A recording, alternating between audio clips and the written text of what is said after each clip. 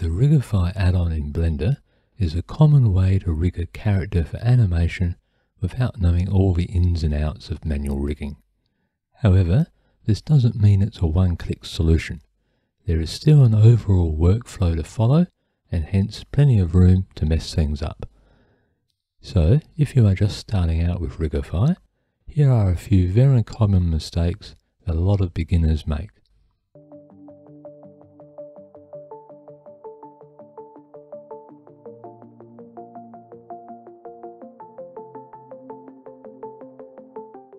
You added the standard Rigify meta rig and then in edit mode spent the time moving and lining up each bone to match the proportions of the character model.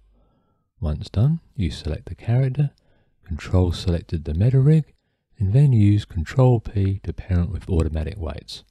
No, do not do this. The meta rig is only used to position where you want the deforming bones to be. Once placed, Select the Meta Rig in object mode and on the Data Properties panel, scroll down to the Rigify section. Press Generate Rig, which will create the animation rig based on the meta rig. You can then hide the meta rig, select the character model, and control select the new generated rig, at which point use Control P to parent with automatic weights. While it's okay to hide the meta rig once you are done with it, never actually delete it. While on top of likely needing to make adjustments and regenerating the rig, Blender is also constantly being changed and updated. For example, the recently introduced bone collections, which replace the previous fixed number of bone layers. If you open an old file with a Rigify rig and go into pose mode, the buttons to show and hide all the controls are missing. However, if you still have the meta rig, then it is possible to upgrade it in the current version of Blender, at which point the main animation rig can be regenerated and once done you now have all of the new bone collections along with rig buttons for easier control selection. All the meta rig bones have been moved into position and in the viewport it all looks good. So with the meta rig selected, you generate the rig and get a total size mismatch.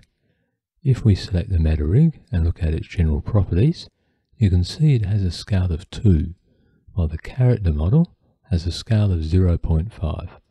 For consistent and reliable results, all objects need to have a scale of 1. To fix this, select each object and use Ctrl A to apply the scale, after which regenerating the rig gets us a setup that now exactly matches where the meta rig was. The meta rig has a lot of bones. Some of them are directly connected, while others are just sitting on top of each other. If you move the wrong bone just a little out of place, such as at the base of the neck, then when you go to generate the rig, chances are you will get an error and or find parts of the animation rig are missing a lot of controls. To avoid this error, it's best to use an area select option instead of direct clicking.